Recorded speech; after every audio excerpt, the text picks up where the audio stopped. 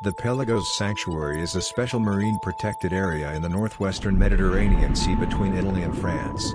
The sanctuary was established in 1999 and it is the most biodiverse corner on the Mediterranean Sea with more than 12 cetacean species and 8,500 macroscopic organisms, which is about 20% of the marine species of the world. More than 12 cetacean regular species are found in the Mediterranean Sea and for over 80% of all cetacean sightings are accounted in the Pelagos Sanctuary. The sanctuary plays a fundamental role not only for the marine life but also for thousands of birds that every year migrate to the south. Here they can find an abundance of food and avoid crossing long open water. This extraordinary exchange of marine and terrestrial activities makes this marine area a complex and articulated ecosystem, in which sea and sky bounds each other creating a unique landscape. Such a remarkable fauna diversity coexists in the sanctuary with very high levels of human pressure. According to the last report from WWF, the sanctuary is the most affected area by plastic pollution in the Mediterranean Sea with the highest concentration of plastics with 1.3 million fragments per square kilometer, comparable to those found in the oceanic garbage patches. Typically birds and sea turtles are the one more that suffers more the increasing quantity of litter in the sea.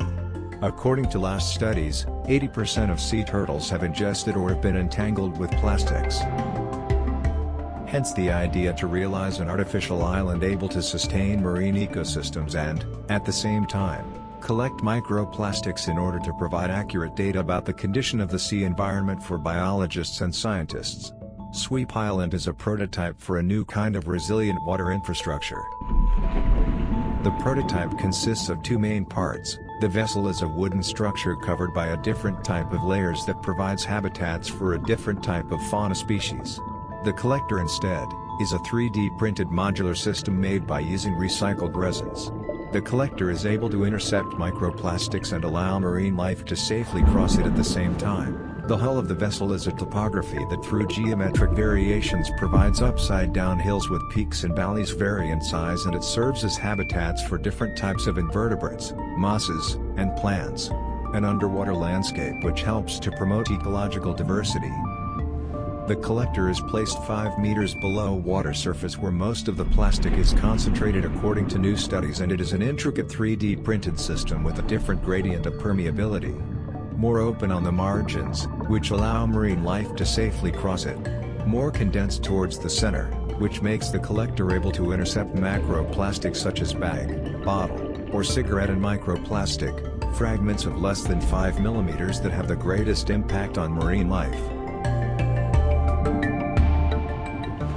The modules of the core area are provided with multiple extra thin tentacles a few millimeters able to catch the small fragments of plastic floating in the water.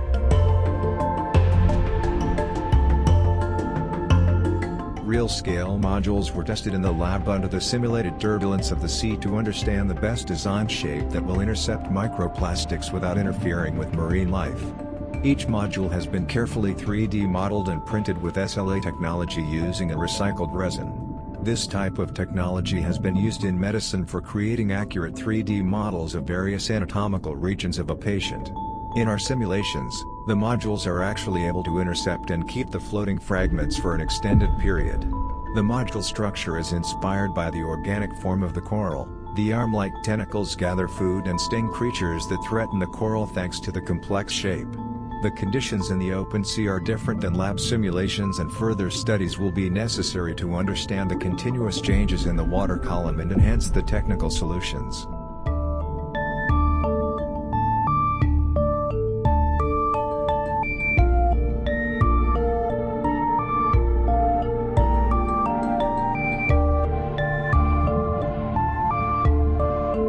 Collector is a light structure that can be easily detached from the island and the collecting and cleaning operations of the marine litter can be done periodically. The island will operate in offshore waters only during the summer months in order to avoid periods of intense storms and currents. During the fall and winter seasons, it will stay in one of the harbor along with the coast, allowing to the island's ecosystem to survive.